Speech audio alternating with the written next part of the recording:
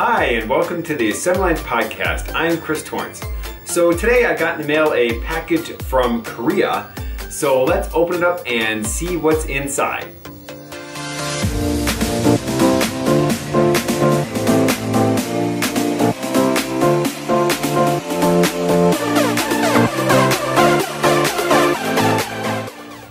Before I get started, I wanted to ask you to please subscribe to my channel if you haven't already done so. I also have a Patreon if you'd like to support me that way. And finally, I have a t-shirt store where you can buy t-shirts like this Nox Archaist one, as well as Apple II peripheral cards. And I'll have links to all of those in the show notes below. What we have in the box here is the SD Music Plus card from Ian Kim in Korea. Now, you might remember Ian Kim as the developer of the SD Disk 2 hard drive emulator card, as well as the Mockingboard 4C, which is a Mockingboard card for the Apple IIc that just fits inside. So, what is the SD Music Plus card? Well, essentially, it's a Mockingboard card but with the added side effect that you can play the Mockingboard sounds with different musical instruments or voices. Instead of the AY38910 chip on the Mockingboard, this one has a YM2413, which was actually a different sound chip from back in the 80s and 90s, and it was used in a lot of consoles coming out of Japan. So it just has a different sound to the Mockingboard. Here's a clone of the Mockingboard card that I have from Reactive Micro, and you'll notice on this one that it has two 6522 chips, and these are used to control two AY38913 chips. These each have three voices for a total of six voices for this card. Now for Ian's card, he only needs one 6522 because the YM2413 actually has six voices on it. In addition, his card has a Atmel microcontroller with 128K of programmable memory on it. And this contains the program that links the 6522 to the YM2413. If I'm reading the manual correctly, this also takes the regular Apple II sounds straight from the memory address and also outputs that through the speaker as well. Ian's actually selling these cards brand new on eBay for $89 plus $15 shipping. I don't know if he actually has any in stock right now, but I'll put a link in the show notes to his listing so you can keep an eye on it. We're to go ahead and try out the SD Music Plus card in my Apple II Plus. Right now I have a Mockingboard in slot 4, so I'm to go ahead and I'm just going to pop that out and then we will put in the SD Music Plus card. So here the 3.5 millimeter sound out jack is at the front of the card and we'll just go ahead and we'll put that into slot 4 making sure that the audio jack faces towards the keyboard end of the computer. We'll just slip that in and we'll go ahead and just put the lid back on. I'm going to go ahead and use Ultima 4 for my test program because it has really good sound and I'm also familiar with it so I know what it sounds like.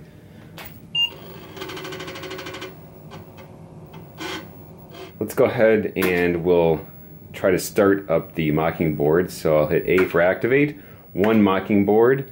Uh, let's just assume that it is a Mockingboard A or C card and it's in slot number four.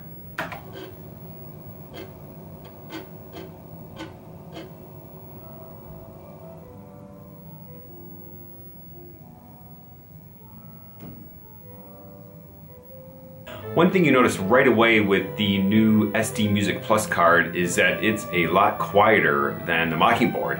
I actually had to switch out the Apple Pro speakers that I normally use with the Mockingboard for the speakers that I have attached to my TV upstairs because they're powered.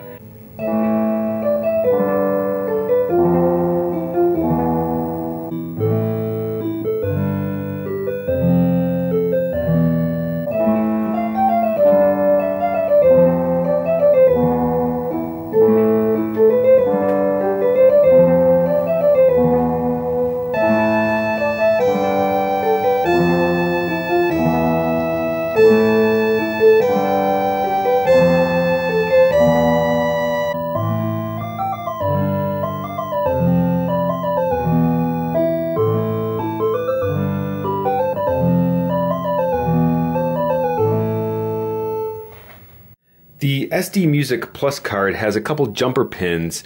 It's a little confusing in the manual what they do, but by trial and error I figured them out. So the first one here controls whether the Apple II sounds come through the speaker or not, or do they just go through the regular Apple II speaker. Here I've removed the little switch that controls whether the Apple II sound goes through the card or not. So now all of the normal Apple II sounds are going through the SD Music Plus.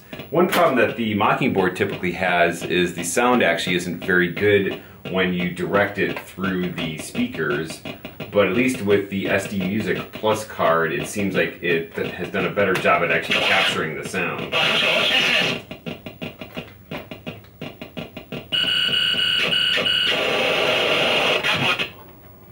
The other jumper back here controls the default sounds for the card. If it's in the very first two pins, if it's jumped across those two, then it uses the default of the clarinet voice for all of the channels. And this most closely sounds like the original Mockingboard. If instead you take off the jumper and you put it across the other two pins, then it switches to a default where it has different instruments for each of the eight channels. And then finally, if you remove the jumper completely, then you can program any of the channels with whatever instrument you want. So let's go ahead now and we'll just remove the jumper here from that back pin. I've got Ian Kim's configuration utility in the disk drive, so let's see how that works. So you can see here that there are eight channels that you can program and then there's 15 different instruments. So essentially what you're doing is you're putting in which instrument per channel. And so you can actually mix and match depending on what you're doing or depending on what the Mockingboard sounds are that you're going for. The default is the clarinet for all channels, but let's go ahead and we'll try something else. Let's say violin. So to program that, I just hit the channel number, say one, and then it says which instrument you want, and you can just hit enter to take the default. So we'll have violin for that. And then let's just go ahead and make violin for all the channels and just to see what that sounds like with the Mockingboard. All right, we can hit escape to get out of here, and then we'll boot up Ultima 4 and try that with every instrument set to violin.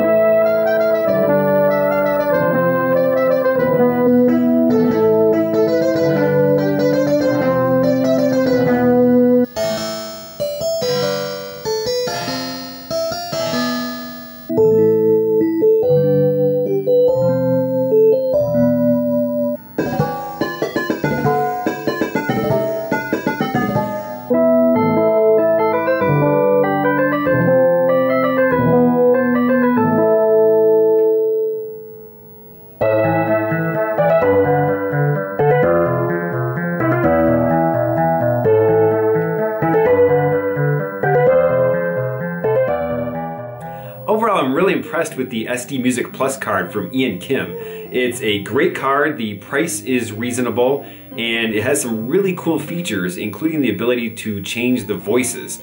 And that's primarily due to that Yamaha YM2413 chip that's inside of it. You can also do things like mix and match some of the voices, and I haven't played around with that too much. One other thing you can do is you can actually have the normal voices in channels 1 through 6 and then have channels 7 and 8 be some sort of chorus that plays whatever instrument that is at the same time as it's playing channels 1 and 2. So I'll be interested to play around some more with that. I found it actually really simple to set up. The configuration utility worked really well. It was a little unfortunate that it was slightly underpowered, so you definitely needed to use a pair of powered speakers or perhaps some headphones with it. I'll have some links in the show notes for where you can get more information and also how to purchase it. And in full disclosure, I paid full price for my card off of eBay. Once again, thanks for watching.